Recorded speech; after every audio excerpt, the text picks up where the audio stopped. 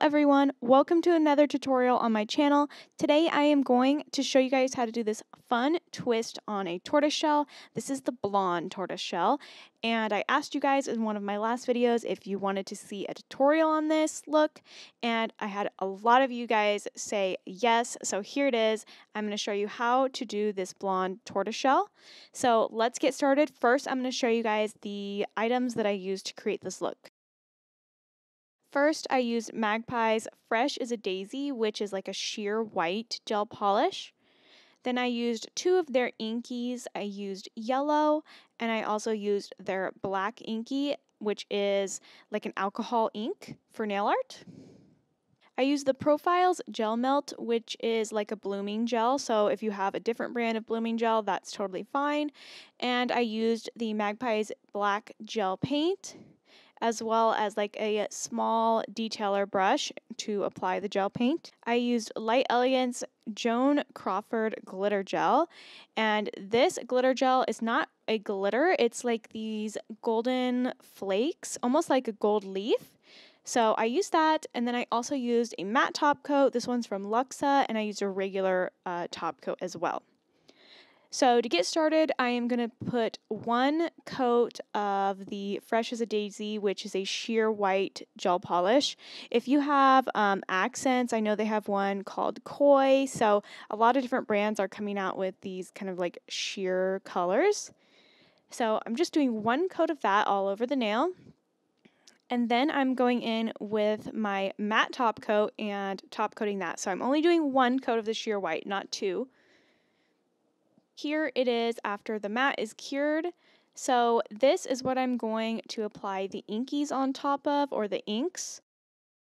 I personally prefer to apply inks on a matte top coat. I know some people just wipe the tacky layer off and go with that, but I prefer a matte surface when I am working with inks.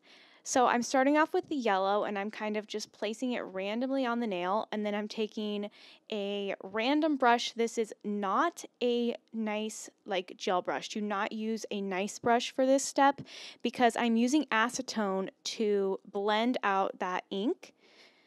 And if you use acetone on a nice nail brush, it's not going to be nice for very long. So the acetone is going to, you know, fray it and kind of eat away at, at the bristles of the brush. So do not use a brush that is expensive or one that you really truly care about for uh, working with acetone.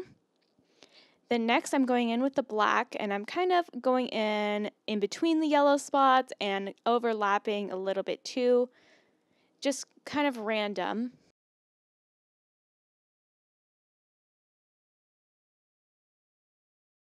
And then again, taking my brush and again, wetting it with a little bit of acetone and just blending that black out so it's not quite as harsh and it's a little bit more translucent and blended out.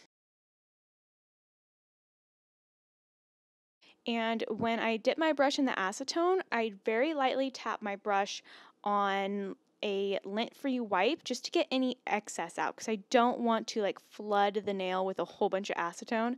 I just want enough on my brush so that I can really just blend out these colors. Next, I'm applying my coat of gel melt to the nail and I'm not going to cure this. I'm going to be using my black gel paint and I'm going to place that right into the gel melt and so the gel melt or the blooming gel will kind of spread that gel paint out and make it a little bit more like fluid and like blend it out, if that makes sense. So I'm taking my gel paint and I'm kind of placing it around where I had previously put the black ink.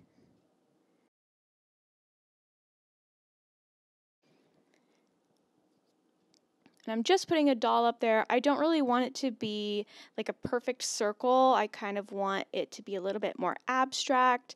So I don't, you know, you don't have to be super perfect with it. The little bit more like messy, the better, I think. And then I am taking my brush and I'm just kind of blending it around. And the blooming gel is going to do a lot of the work for you. It's going to kind of help disperse that black and just kind of fade it out.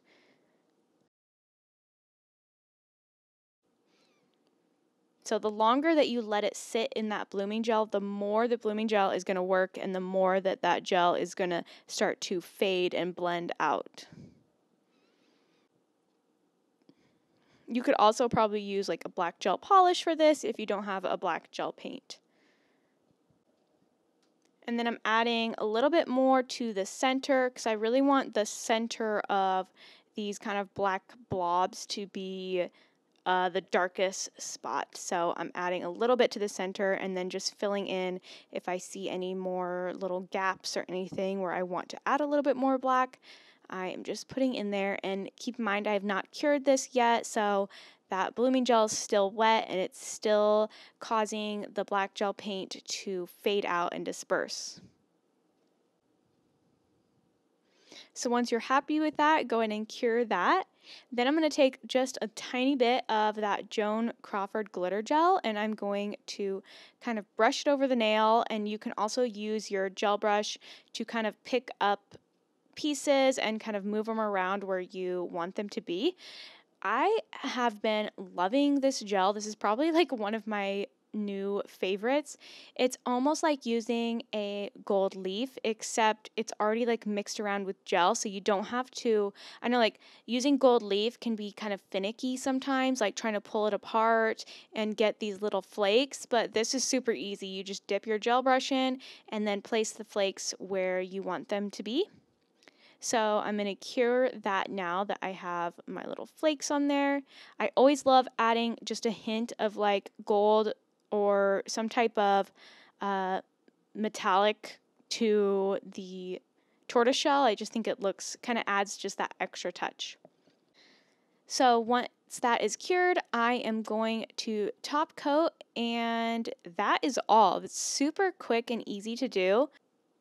This fun blonde tortoiseshell. It's kind of a cool twist on the regular darker tortoiseshell and I will show you guys what the like original one looks like as well and I will link the video. I do have a tutorial on the other tortoiseshell if you want to see that one as well. So here is the original tortoiseshell. It's a much darker version and almost like that amber kind of orange color. And the blonde tortoiseshell is more of like a white, uh, lighter version of it. And again, I will link the video to the other tortoiseshell as well in the description box below. And everything, all the products that I use will also be linked in the description box. So thank you guys so much for watching. If you're new here, make sure to subscribe. I do tutorials and hauls and all sorts of different videos that have lots to do with nails. So give this video a like if you enjoyed it, and I will see you guys in the next video. Thanks!